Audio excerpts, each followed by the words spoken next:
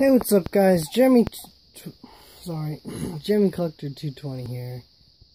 And what I have to review today is uh, an item I thought I'd never see or anything. and that is the 2010 Target Low Skeleton, made by Gem.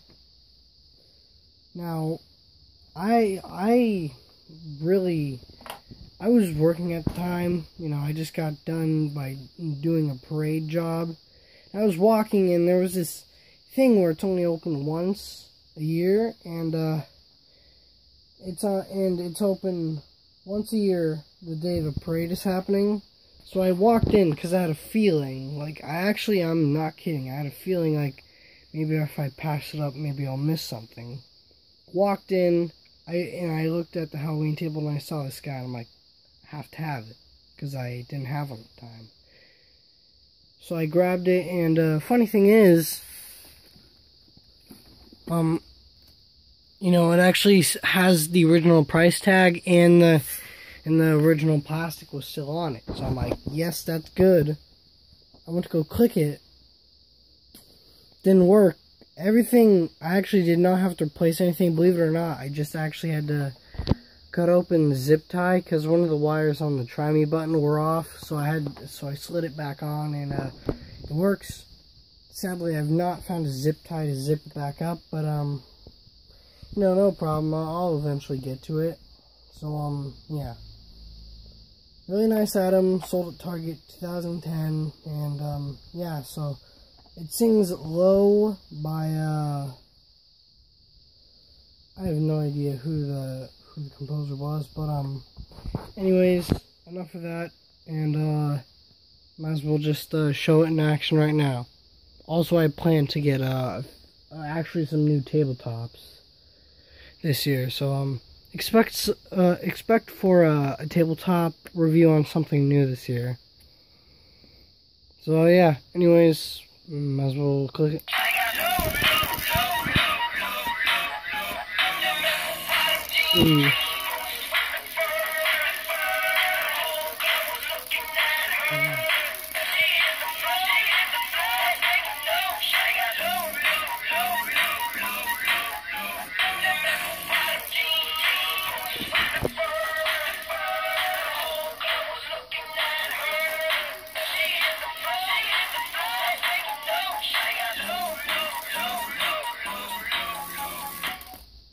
Ooh, that's bad. That's really bad.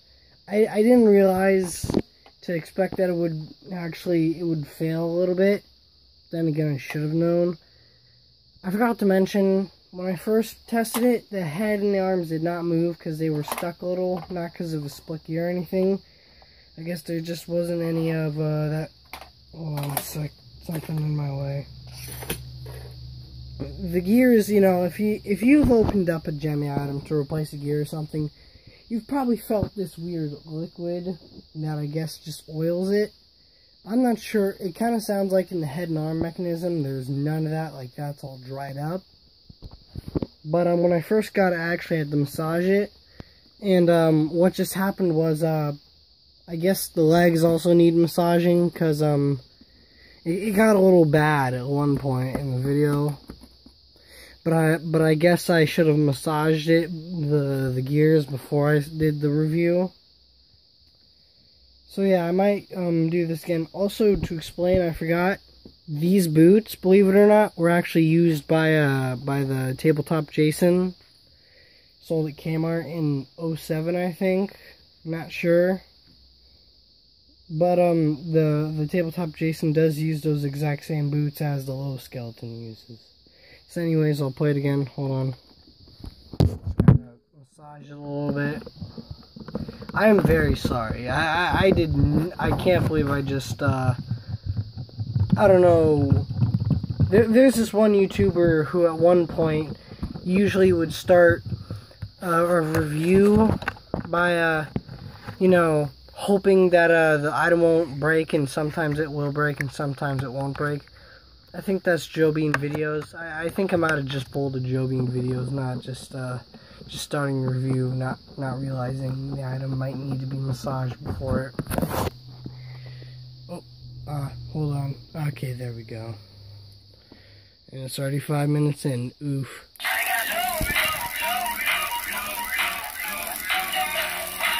As you can see, it's supposed to move a lot, even when it's going down.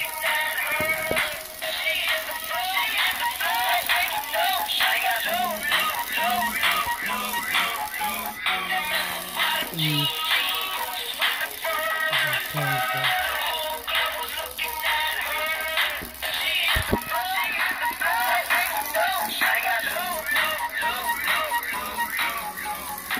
Okay, I never thought this video would get any more painful.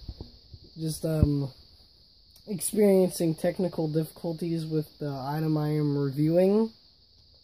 But, uh, yeah, anyways, Gemmy Collector 220, please like and subscribe. Anyways, thanks for watching. And, uh, if you find one of these, I would recommend it. It's definitely a nice item. Anyways, thanks for watching.